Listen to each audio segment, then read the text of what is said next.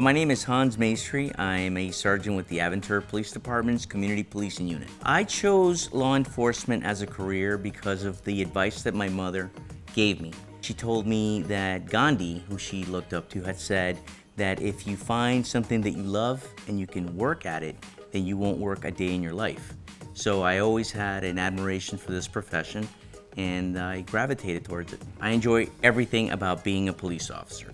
The image, the honor, I enjoy the history, the uniform. I enjoy the fact that you can help people directly, that you can utilize skills like problem solving. I enjoy making people happy, and when I was younger, I enjoyed going after the bad guy.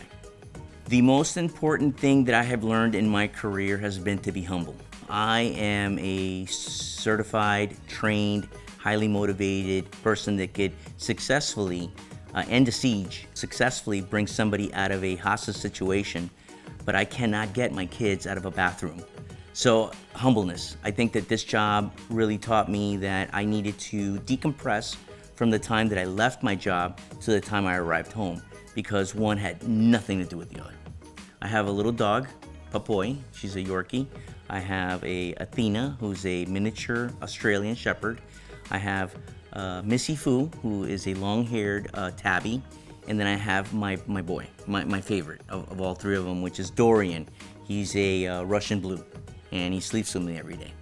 I, I've always thought that people that are older are living libraries, and I would always attach myself to people that were successful in this profession, and one of the advices that they gave me were, don't let go of your family. So from a very early age, even if I was on a surveillance or even if I was working something, I would have my son read to me. I would go through assignments with my middle daughter.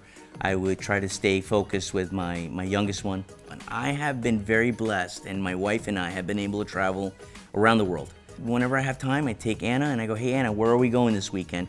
And then we usually post it like a, like a travel channel. And it's, the joke is the, the Hans Maestre Travel and Restaurant channel.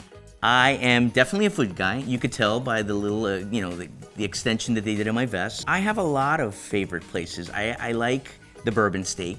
I, have gone there quite a few times.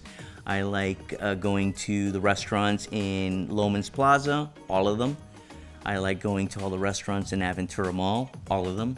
I like going to the restaurants in the town center, all of them. I don't think anyone doesn't know who Hans is, Sergeant Maestre, or Uncle Hans. Everybody knows me.